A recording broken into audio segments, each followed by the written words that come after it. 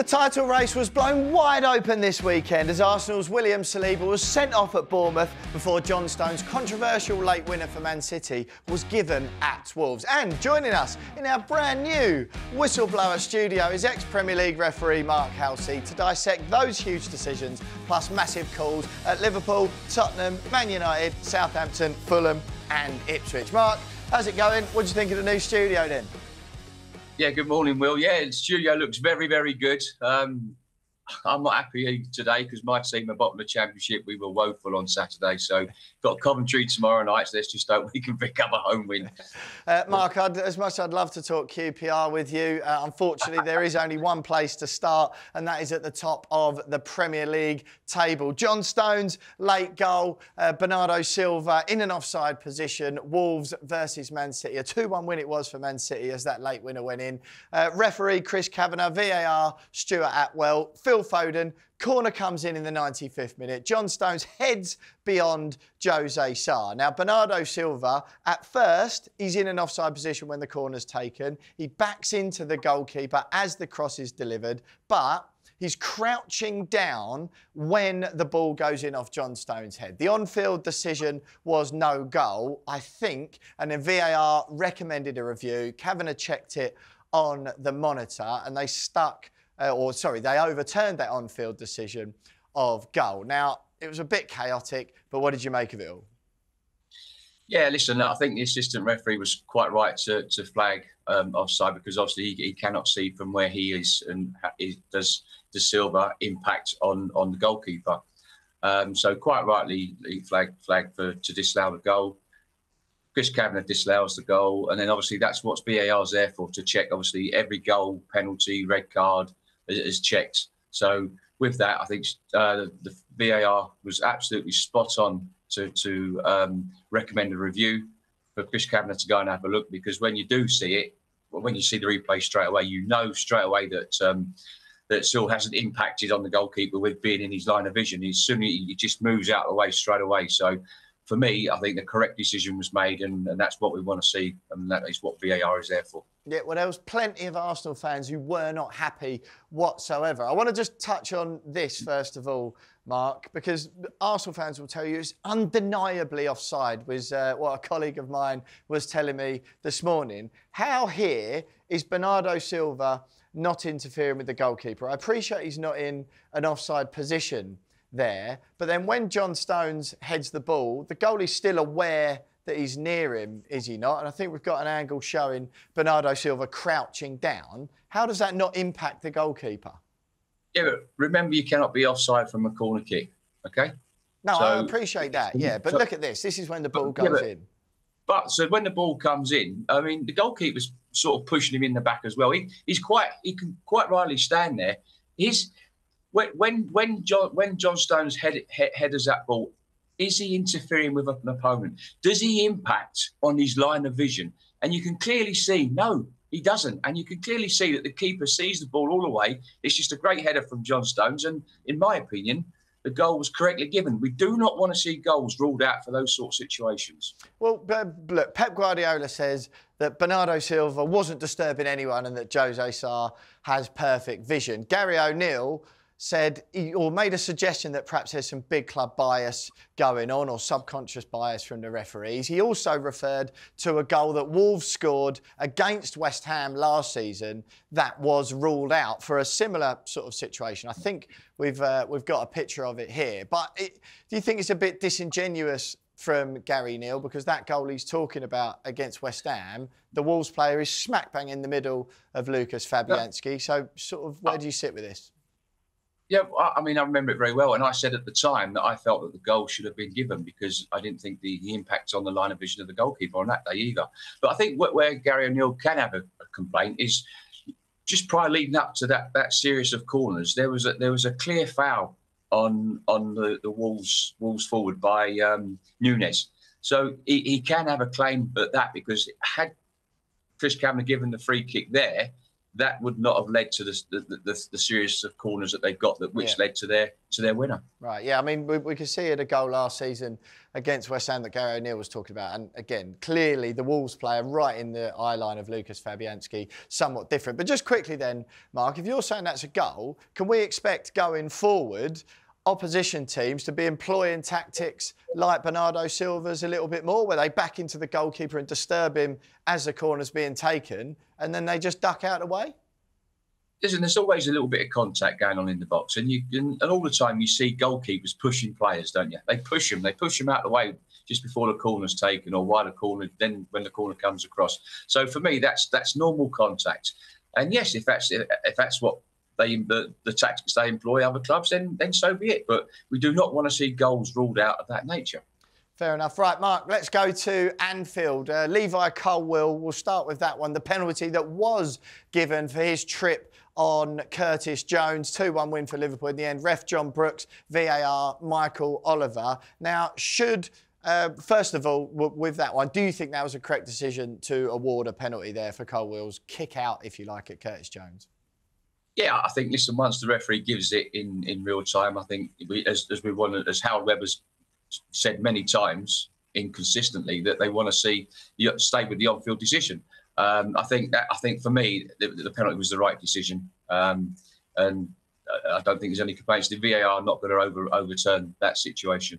Okay, now what, what I do want to talk about Mark, Tosin Adarabioyo, the ball comes over the top and it's a sort of clumsy challenge on Diogo Jota, about just about the halfway line at Anfield it was. Only a yellow card shown, and we're obviously going to talk Arsenal. You can see here, that's where the collision took place on the halfway mm. line, sort of a big empty space for, for Jota to run into after that clumsy challenge, yellow card awarded, and Liverpool given a free kick, of course. Arsenal fans absolutely up in arms about William Saliba's red card and comparisons between this and that decision. Just, just stick with this one first of all. Here's the contact from Tosin on Jota, not insignificant at all. What did you make of this one first? I thought a, uh, a yellow card was the correct outcome. Um, remember, uh, the criteria for denying a goal or an obvious, remember, an obvious goal scoring opportunity yeah. is obviously the distance from the goal to the incident, okay, the direction of play, the likelihood of keeping or gaining control of the ball, and the location and number of defenders around. well, there's that, no, that, you can see here, scenario. no defenders whatsoever. So that, ball coming over the top what That's the cr- criteria that the referee has to think about, and and for me, because obviously you, you, look at that one, you look at the distance from the goal to the offence, and uh, for me, a yellow card was correct. Okay, does that does how do you feel about that decision then compared to the Arsenal one? We'll obviously move on to that in a little while, but William Saliba, Arsenal fans are saying, what's the difference? Uh, listen, as you in my column, I, I was I had my doubts about um, it being a red card. I thought um, Rob Jones got it absolutely spot on with the yellow card because obviously, as I just said about the criteria, Okay, fair enough. And what do you think of the other penalty that was awarded and then overturned? Curtis Jones involved once again. He sort of it appeared on first viewing that he put it through Sanchez's legs as Sanchez came out to make the slide tackle. A referee, sorry, the referee awarded a penalty initially. VAR recommended a review. He had a look and it appeared that, that Sanchez made contact with the ball with his leg before Curtis Jones did that dramatic flip over his head. Yeah, listen, I, I thought that was the, the correct decision. I, th- yeah, I mean, obviously, in real time, you could you could argue was it a penalty? Um, I thought VAR was correct to come in and recommend a review. All we want to do is see consistency. Because if you go back to the first weekend of the season at West Ham, Aston Villa, Cash, Matty Cash, done exactly the same with um, Thomas Soucek, and a penalty was given. Yeah and they stayed with the on-field decision. The review wasn't recommended. Now, on that day, I said it wasn't a penalty, and VAR should have got involved. Right. Yesterday at Liverpool Chelsea, I thought it was the correct decision, with the VAR recommending the review. What to so award what we want to oh, see right, is consistency. Yeah. But, but do, do we want consistency, Mark, or do we just want the most correct decisions? You can see there, just at the bottom of the screen, um, Sanchez's ball, like leg, clearly connects with the ball. I know you're saying yeah. you want consistency, but that also you yeah. say that a lot. But if if a wrong decision happens, you don't just want consistency because it was given before that it's given again. Do we? We want the most right decisions. Yeah, but we want to see consistency within the within the situations and the incidents. Now, you know, you go back to the West Ham Villa game. Why wasn't why didn't VAR get involved in that? Because that was the wrong, in my opinion, that was the wrong decision. But they stayed with the on-field decision because it's subjective. You could argue that Liverpool Chelsea one was subjective. Right. But you, I mean, you tell me that all the time, Mark. You're always saying subjective to me. At some stage, we've got to have some sort of framework that these referees can uh, make decisions. Right, let's move on then to the Arsenal game. William Saliba's red card. Arsenal's third in eight games. You know, Arsenal fans up in arms, conspiracy theorists left, right, and centre saying that the PGMO have got an agenda on them. Perhaps might be worth having a word with their players about their ill discipline, first of all. Declan Rice described the decisions as naive and silly after the game. Rob Jones, the referee here, VAR are Jared, Gill, uh, Jarred Gillett. 30 minutes in, Leandro Trossard, dodgiest back pass you've ever seen, over the top. Evanilson trying to get on the end of it. Little tug back from William Saliba, as you can see here, about six yards inside the Arsenal half. He goes down. And I mean, again, what, what did you make of this one? Is a yellow card given at first, then VAR sent into the screen. Good use or unnecessary to get involved? Yeah, listen, I thought watching the game live, I thought Rob Jones made the correct decision. Law 12 fouls and misconduct. I, uh, you know, regarding uh, a goal or an obvious goal scoring opportunity, I've already quoted the, the criteria that the referee has to go through. Yeah. Um, and I thought, uh, and with that incident, it is subjective. And Rob Jones straight away showed a yellow card, exactly what I would have done in that situation. So what you got to have a look at was it a clear and obvious error by Rob Jones? In my opinion, no. Is it subjective to whether it's a, a denial of an obvious goal scoring opportunity? Yes, it is subjective. And we keep hearing about Howard Webb saying we don't want VAR getting involved in subjective decisions. Well, for me, that was subjective. And I don't know why Jarred Gillett got involved in that situation because it's subjective and it wasn't a clear and obvious error, in my opinion, from, from Rob Jones. I thought he got it spot on. So the referee made a decision subjectively, and we should have stuck with the on-field referee decision of a, of a yellow card. Mark, do you think, just very briefly then, that referees this season, it feels like anyway, in a lot of instances, they're giving like maybe a more conservative decision, i.e., a yellow card in this instance, knowing they've got the VAR to fall back on, and it feels like that's they're using it as a safety blanket. Do you, are you seeing that? Yeah, I think I think they are relying on on VAR instead of going out and you know, refereeing what's in front of them. Yeah. But even with that situation, for me, VAR shouldn't have got involved. I, I, I so you know, listen, if he showed a red card straight away, you could, you know, then you say, okay, fine, that was his decision on the day. You, you, you would have said it, it's subjective. He could have shown, you could then be saying he could have shown a yellow, but he chose to show a red. But as I said, with law 12, you know, denying of an obvious goal scoring opportunity and and the criteria for me, there's doubt there to whether that was an, an obvious goal scoring opportunity. Yeah, fair enough. Right, uh, just just one more then, Mark. Arsenal hard done by there. Do you think they got away with one with David Raya? The penalty he gives away, uh, challenge on Evanilson? I know you're going to tell me the criteria says uh, can't to avoid double jeopardy. Uh, a player when giving away a penalty, he's not sent off if he makes a genuine attempt to play the ball, right? I know that's what you're going to say. I've had enough conversations with you about this. I cannot see how David Raya makes a genuine attempt to play the ball there. He's absolutely miles away from the ball, as we can see. Evanilson's dragging it across his path. Some of the other angles we've got make it look even worse. And yet he's allowed to stay on the pitch, take the penalty, and most importantly, not be suspended for the next games. Well, listen, the ball's there within playing distance, so he's making that dive, isn't he? So listen, I, I, I think that's the correct decision. Um, you know, it, it, it's he has made the genuine. How's he going to get the ball, ball, there? Look. Yeah, but he's, he's, made, he's, he's, trying to. He's, it looks like he's going to try and block the ball, isn't he? So listen, I don't want to see goalkeepers or players sent off for those situations, and that's why that's why the law was brought in. Um, so he's trying to spread it. He's trying to make it. He's trying to spread his body to try and get to the ball or, or push the ball away. Look, but he can use his legs there, can he? He can use his legs, can use his body, use his arms. Four yards, Mark. Four yards between the ball. He's just dived, knowing he's going to trip him up. I'm not having it. Come on. Okay, well, we'll, we'll, agree to disagree, my friend. Let's right. Manchester United, Matthias de Ligt got a knock on the head early in the game at that 2-1 during the 2-1 victory that United had over Brentford at Old Trafford. They went 1-0 down, of course. Ref Sam Barrett here, VAR. David Coote. It was about 11 minutes in, de Ligt split his head open. Uh, nasty clash, as you can see here, blood pouring down his head. They had two goes the medical team at trying to stitch him up and sort him out during the first half. And then, right in the dying moments of the half in stoppage time, he's hauled off again by the referee to have treatment.